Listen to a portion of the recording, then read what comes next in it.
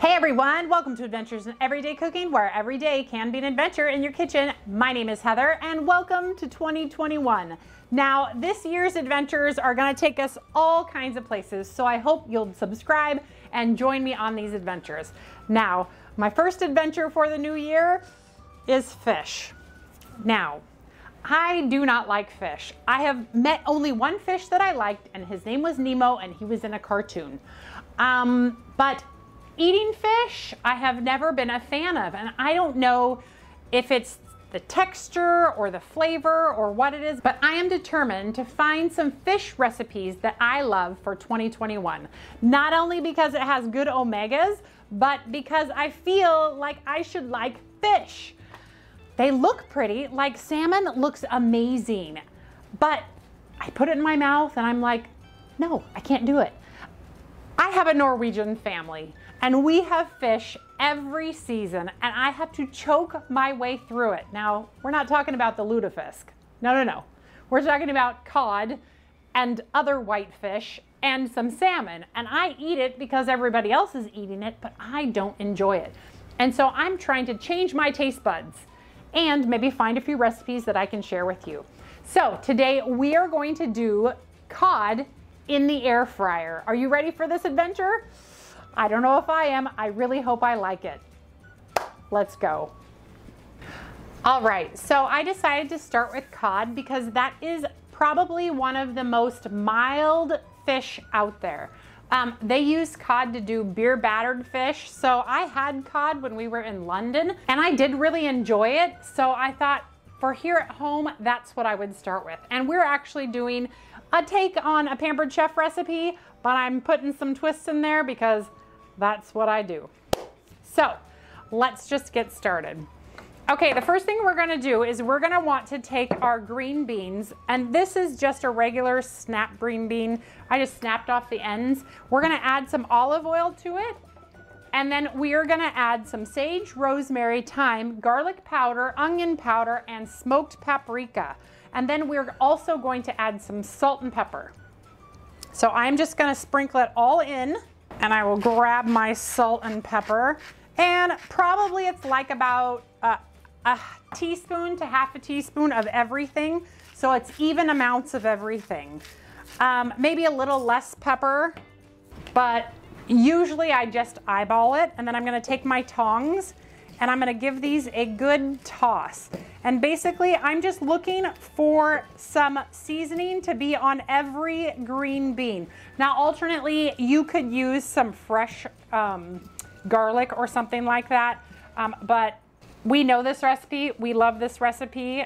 We have this on our greens all of the time. So this is my kind of mixture here. All right, so the next thing I'm going to do is I am going to layer these green beans on this tray. And that looks good enough. And then I will go ahead and do the other tray. If you're not using the Pampered Chef air fryer, that's okay. You would just put all of your beans in the bottom of your basket and hope it turns out the same. I do not have the other air fryer. I used to, I gave it away after I got this one. Um, but I think that it would work the same. If you have a regular air fryer and you try this and it works, please leave me a comment just so that I am, I know. And I, it should work because you'll see it's pretty, it's a pretty easy recipe. All right, the next thing we're going to do is we're gonna work on our batter. So here I have some gluten-free panko breadcrumbs. Um, you don't have to use gluten-free, but as some of you know, I am gluten-free, so I try to throw in the gluten-free things whenever possible. So we've used these before. You can find them at most grocery stores. They're actually really good. They're really tasty. So I'm not, I don't feel like I'm missing out on anything when I use this brand. The brand is 4C Crumbs, gluten-free panko breadcrumbs. So we're gonna take a cup of breadcrumbs and four tablespoons of butter. And we have some Italian herb seasoning some salt and some pepper. And we're just gonna give that a good mix.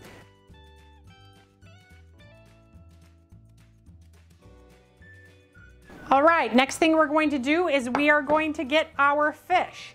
now depending, this is going to make all of this fish, but um, the original recipe is only for two to four pieces of fish, depending on their size.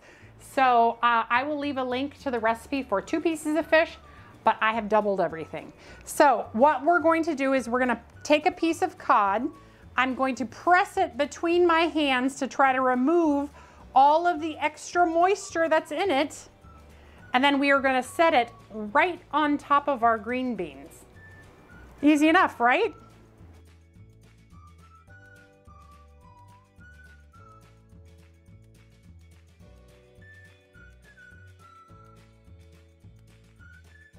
All right, and next we are going to take our mayonnaise and paint our fish. So I have about half of a cup of mayonnaise. I don't know if I'm gonna use the full half of a cup.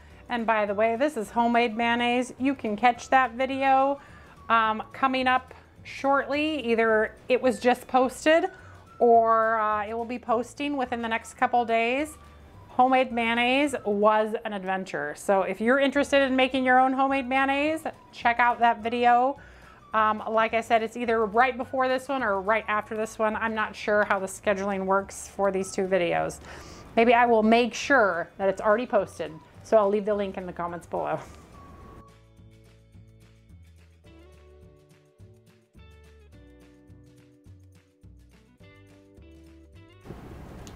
And I did indeed use all of that mayonnaise. Uh, I actually forgot a step. You are actually supposed to spray your trays with oil. Um, I'm hoping that doesn't bite me in the butt at the end, but make sure you spray your trays with oil. Okay, so now we are gonna do the super fun part. We are going to cake these fish with these panko. So um, Basically, I'm just going to pick it up and I am going to drop it right on the top of my fish, like so. Pretty easy, right?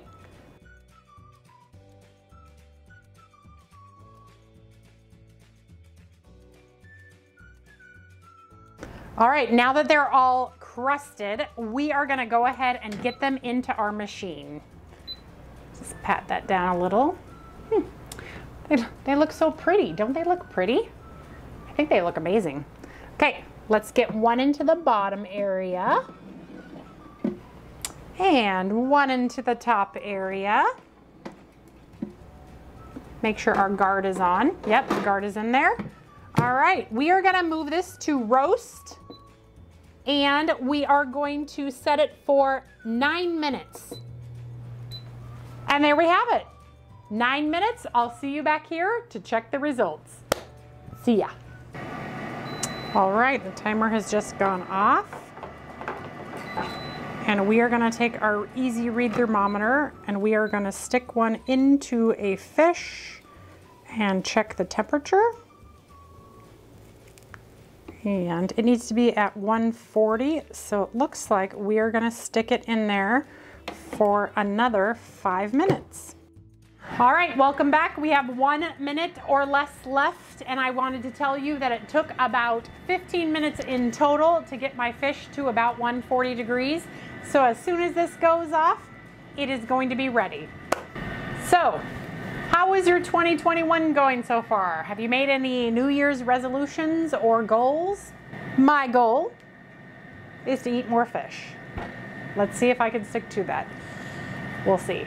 I can't be the only one that doesn't like fish, right? There are other people out there that don't like fish, but I'm going for it. I'm trying. All right, we're done. So this took a total of 15 minutes to get to this point, but wow, look at that beautiful fish.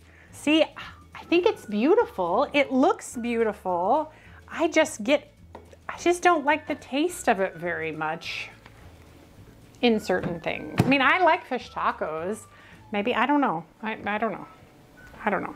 Okay, so let's take, I'll take a piece of this fish closest to me. I'll take the small one. No one judge. Oops, I lost a little piece. And put it on my plate. And I did make some rice. And we will take some beans. But as always, we must know how does she taste. Let's look, let's get a good close up here too. So first I'll taste for you the beans because I know they good. Mmm, they're al dente, but they're so good. I love fresh green beans. Mmm, they're good. All right. Now, let's cut into the fish. So I'll get it close to the camera as I cut into it. And we can see this beautiful fish inside. Yay, flaking apart, nice and cooked. And then here we go. Here we go.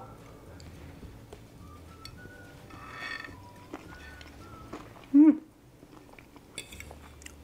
Yeah, I think I like cod. At least I like this recipe.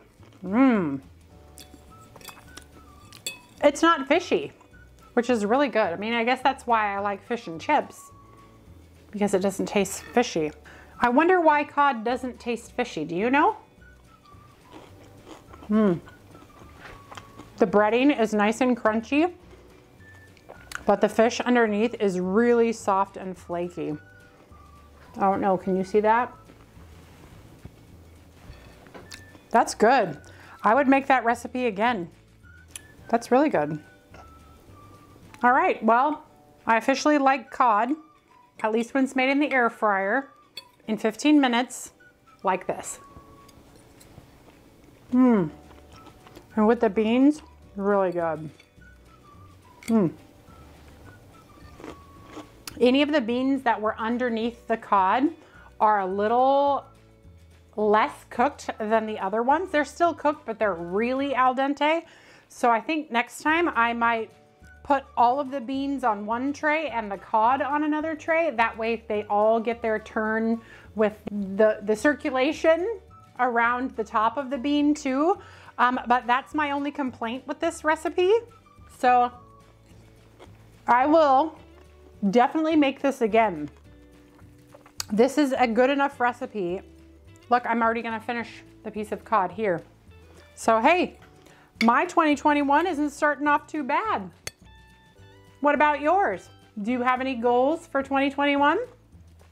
Any food goals for 2021? What kind of adventures are you gonna make yourself go on this year in your kitchen? I want to know. Because mine is going to be fish and other stuff too, but fish for right now, because look, cod. I'm eating cod. If you would have told me last year that I would be purposefully putting fish into my mouth, I would have told you you're crazy. But look, here I am, and it's pretty darn good. The cod is perfect. The beans, anywhere that they weren't covered by fish, are perfect. The rest of them, they need a hot minute. So, all right, you guys, if you enjoyed that video, please give it a like, share it with your friends, and subscribe to my channel. This year, we're gonna do all sorts of fun stuff, so I hope you'll stick around and adventure with me. All right, see you later. Bye.